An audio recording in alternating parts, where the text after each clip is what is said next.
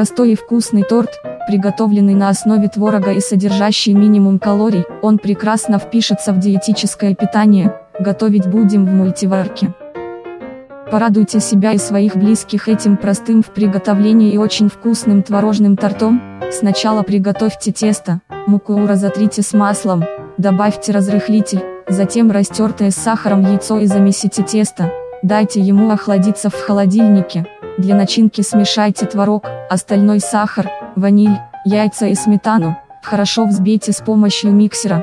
Тесто распределите по дну чаши мультиварки, сделав корзинку с бортиками 5-6 см в нее вылейте начинку, установите режим выпечки и готовьте 1 час, затем оставьте торт в мультиварке в режиме подогрева еще на 40 минут, приятного чаепития. Сколько и какие продукты понадобятся, узнают те, кто досмотрит до конца. Муку разотрите с маслом, добавьте разрыхлитель. Отдельно разотрите одно яйцо со 100 гр сахара.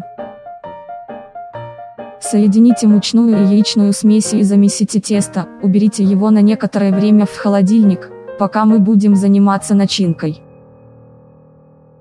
Для начинки смешайте творог, остальной сахар, ваниль, яйца и сметану, хорошо взбейте с помощью миксера.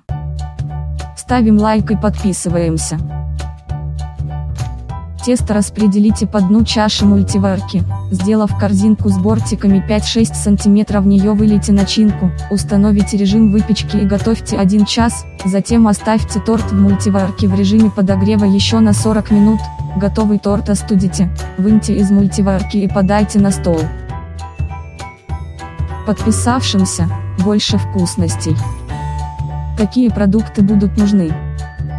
Масло сливочное, 100 грамм, сахар, 200 грамм, мука, 250 грамм, творог, 250 грамм, сметана, 400 грамм, яйцо, 4 штуки, разрыхлитель теста, 1 чайная ложка, ванильный сахар, 1 чайная ложка, количество порций, 4.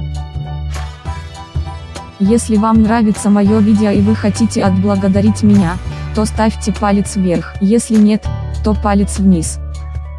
Пока-пока.